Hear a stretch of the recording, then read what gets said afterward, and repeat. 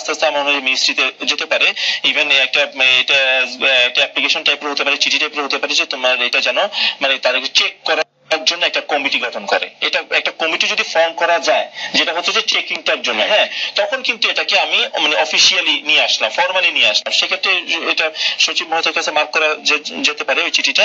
প্রথমত BRT রোডসের director যে উনি হয়তো এটাকে যদি দেখার পরে এটা কোন ব্যবস্থা নেওয়া উচিত এবং এটাকে উপরের দিকে পাঠানো উচিত। ফর্মালি করে ফেলা। স্যার আমি ডিজিটাল ওয়ার্ল্ড টু থাউজেন্ড সেভেন্টিনে পার্টিসিপেশন করেছিলাম কারিগরি ও মাদ্রাসা শিক্ষা বিভাগ থেকে। তো সেখানে আমাদের দুটো স্কুল পরেই আপনার বিআরটি এর ছিল আমি চেষ্টা করছিলাম তাদের সাথে কানেক্ট হতে।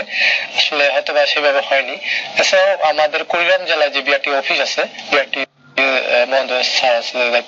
তার সাথে আমি বিষয়টা শেয়ার করেছিলাম এবং তিনি আমার বিষয়টা খুব মানে ওনারা খুব একটা করতে হ্যাঁ, হ্যাঁ, তুমি ঢাকার মাধ্যমে ঢাকার যে মেইন হেড অফিস যেটা আমার মনে হয় যে বিআরটি অফিস যেটা হেলেনবাড়ি আমাদের প্রাইম মিনিস্টারের দপ্তরের কাছে এই অফিসটা ওইখানে চেয়ারম্যান সাহেব বসেন এবং ডিরেক্টরও ওখানে বসেন। ওইখানে তুমি যদি একটু যোগাযোগ করো এবং একটা অ্যাপ্লিকেশন তাদেরকে দাও আমার মনে হয় এখানে একটা বড় প্রবলেম বাংলা উদ্বোধন করে। যে কিছুদিন আগে আমরা দেখলাম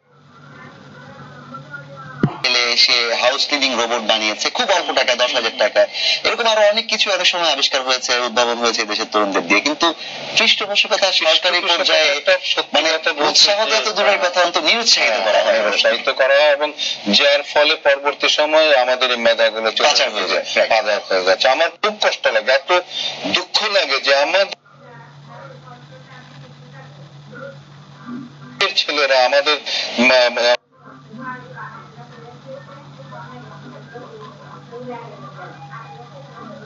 মানে আমাদের দেশে আমরা তাদেরকে ধরে রাখতে পারি না। পৃথিবীর অন্যান্য দেশে এই ধরনের কাজ করার জন্য কোথায় মানে টাকা দিয়ে পয়সা দিয়ে কত কিছু দিয়ে তাদেরকে উৎসাহিত করে। আর আমাদের ছেলেগুলো কষ্ট করে নিজের পকেটে জমানো পয়সা দিয়ে মানে অন্য কাজ করে সেই টাকা দিয়ে তারপরে এটি উদ্ভাবন করে করার পরে তারপরে সেটাকে মানে বাস্তবায়ন আমরা করতে পারি এটা অত্যন্ত দুঃখজনক। আমার আমি বলব আজকে এই অনুষ্ঠানের মাধ্যমে আমি বলব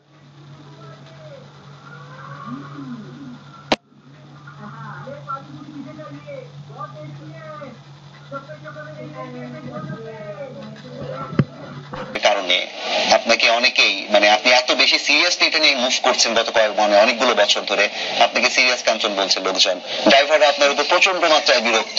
আমারই এই অফিসেরই অনেক ড্রাইভার অনেক সময় দেখি যে, কিছু বললে বলে কাঞ্চন ভাইকে যে বলেন, গাড়ি কেন এরকম?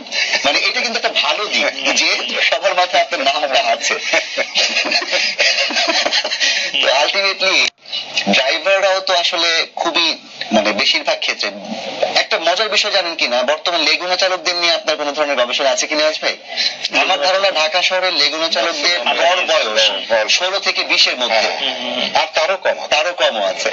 এবং তারা ওটাকে মানে রাইট গেমস এর মতো মনে করে তারা চায় তো এই জায়গাগুলো নিয়ে আপনার এতদিনের আন্দোলন এবং অনেক কটুক্তি শুনতে হয়েছে ড্রাইভারদের আন্দোলনের মুখে পড়তে হয়েছে এমনকি মন্ত্রী পর্যায় থেকে আপনাকে বিভিন্ন ধরনের হুমকির মুখে পড়তে হয়েছে। তো এই দীর্ঘ আন্দোলনটাকে আপনি আসলে কোন জায়গায় দেখছেন এখন? আমি মানে যেহেতু আন্দোলন করছি, সেহেতু আমাকে অনেক ইনফরমেশন আমাকে কালেক্ট করতে হয় আর কি। তো সত্যি কথা বলতে যে যেমন চব্বিশ বছর আগে আমাদের জনসংখ্যা কিন্তু ছিল এগারো কোটির মতো জনসংখ্যা ছিল। রাস্তা খুবই কম ছিল, গাড়িও কম ছিল।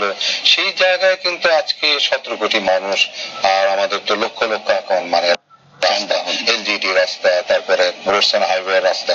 তো এই সবকিছু মিলিয়ে আসলে আমরা যে দুর্ঘটনা সেই সময় হতো। তখনও কিন্তু মানে সরকারি হিসাবে তখন ছিল পাঁচ হাজারের মতো ছিল। কিন্তু বেসরকারি ভাবে প্রায় আঠারো, বিশ হাজার মতো মানুষ মারা যেত। তিরিশ পঁয়ত্রিশ হাজার মানুষ আহত হতো। তো এরকম মানে একটা স্টাডি ছিল। আর ওই তখন থেকে কিন্তু একটা মানে প্রপার ডাটা যেন তৈরি করে। কারণ ডাটা যদি না জানা থাকে, তাহলে আপনি কীভাবে মানে দুর্ঘটনাকে একটা মানে কমাবেন, তার জন্য একটা উদ্যোগ নেবেন যে যদি সাপোজ ধরেন যে আমার দশ হাজার মানুষ মারা যায়, তো আমি আগামী বছর যেন চেষ্টা করি যে আমার দশ হাজার মানুষ যেন না মারা অন্তত দুই হাজার যেন কমাতে পারে। তাহলে এটার জন্য একটা ডাটা থাকতে হবে প্রপার কিন্তু এখনও পর্যন্ত আমাদের এখানে প্রপার ডাটাটা নেই।